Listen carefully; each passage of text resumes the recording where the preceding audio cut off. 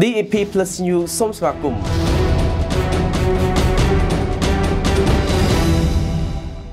កូរ៉េផ្ដល់ជំនួយជាបរិខាពេទ្យតម្លៃ30,000ដុល្លារដល់កម្ពុជាក្នុងការប្រយុទ្ធប្រឆាំងជំងឺ Covid-19 រដ្ឋាភិបាលសាធារណរដ្ឋកូរ៉េនឹងផ្ដល់ជំនួយមនុស្សធម៌នៅគ្រឿងបរិក្ខារពេទ្យជាទឹកប្រាក់ស្មើនឹង30ដុល្លារអាមេរិកដល់រដ្ឋាភិបាលកម្ពុជាដើម្បីជួយគ្រប់គ្រងប្រទេសកម្ពុជានៅក្នុងការប្រយុទ្ធប្រឆាំងនឹងជំងឺ Covid-19 នេះបើយោងតាមសេចក្តីប្រកាសព័ត៌មានរបស់ស្ថានទូតកូរ៉េប្រចាំកម្ពុជា ក្នុងជំនួបជាមួយលោកស្រីសឿងរតចាវីរដ្ឋលេខាធិការក្រសួងការបរទេសនិងសហប្រតិបត្តិការអន្តរជាតិកាលពីថ្ងៃទី5ខែឧសភាឆ្នាំ2021លោកបណ្ឌិតផាកហឹងខ្ចង់ឯកអគ្គរដ្ឋទូតនៃសាធារណរដ្ឋកូរ៉េប្រចាំកម្ពុជាបានមានប្រសាសន៍ថារ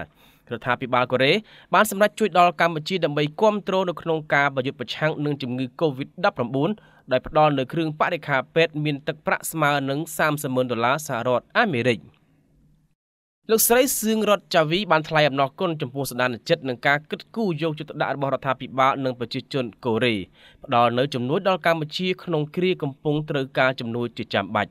លោកស្រីបានបន្តទៀតថាក្នុងនាមជាមិត្តនិងជាដៃគូសម្ដរសំខាន់របស់កម្ពុជា សាធារណរដ្ឋកូរ៉េកន្លងមកបានជួយកម្ពុជានៅក្នុងកិច្ចខិតខំប្រឹងប្រែងដើម្បីយកឈ្នះលើការរីករាលដាលនៃជំងឺ Covid-19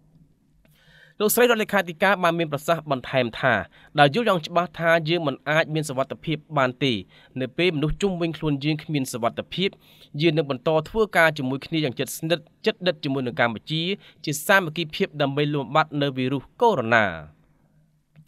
សូមបញ្ជាក់ផងដែរថាបន្ទាប់ពីការផ្ទុះឡើងនៃជំងឺ Covid-19 នៅដើមឆ្នាំមុនរដ្ឋាភិបាលកូរ៉េក៏បានបរិច្ចាគភ្លាមៗនូវថវិកាមួយចំនួនប្រមាណជា20ម៉ឺនដុល្លារអាមេរិកនិងឧបករណ៍ធ្វើតេស្តរោគមេរោគ Covid-19 ដែលមានតម្លៃស្មើនឹង10ម៉ឺនដុល្លារជូនដល់រដ្ឋាភិបាលកម្ពុជាកាលពីខែឧសភាឆ្នាំ2020កន្លងទៅនេះទន្ទឹមនេះកូរ៉េក៏បានផ្ដល់កម្ពុជានូវការឆ្លើយតបយុទ្ធប្រឆាំងនឹងវីរុសកូវីដ -19 តាមរយៈកម្មវិធីជំនួយឆ្លើយតបទៅនឹង COVID-19 ប្រមាណជា1លានដុល្លារអាមេរិកក្នុងនោះរួមមានការផ្ដល់ជូនតង់សម្រាប់ធ្វើតេស្តរោគវីរុសចំនួន20និងបន្ទប់ចម្លាក់សម្រាប់ដាក់អ្នកជំងឺចំនួន60ផងដែរដល់គ្រឿងឧបភោគបរិភោគឱសថសង្គ្រោះបឋមចាំបាច់ដល់អ្នកងាយរងគ្រោះនៅតំបន់គោលដៅចំនួន6រួមមានរាជធានីភ្នំពេញ កំពង់ស្ពឺក្រចេះ